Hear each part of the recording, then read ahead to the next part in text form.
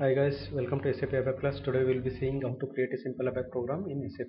Myself Venugopal Nanjappa and I am having 4 plus years of experience in ABAP. Now in the initial screen click on SAP logon icon.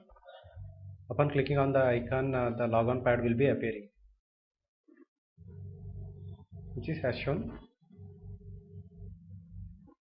and uh, in this screen enter your username and pa password click on enter this will log into SAP. This is a SAP initial screen. Now in the command window enter SE38 transaction. Upon entering SE38 transaction it will take you to ABAP editor. Now in program field enter the program name and click on display button to check whether the program is already existed or what. If not click on create button to create a program. Upon clicking on a create button you will get a pop-up.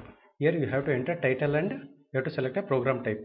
I'm entering program type uh, program title as my SAP ABAP program and select program type as executable program. Then click on save button. Now it will ask for a package enter $tmp and click on local object. So th now the program got created.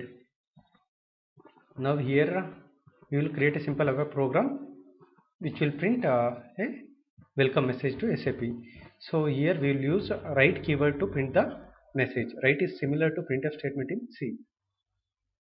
So now click on save button to save the program. Now we will get a success message.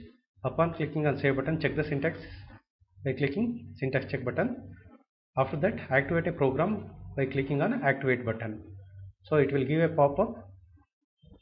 Select your program and click on ok now the programs get activated. To run the program you have to click on execute button. Yeah. Now we got the message. So thus we created a simple ABAP program. Thank you guys.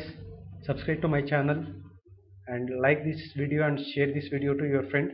More videos are coming soon. Thank you so much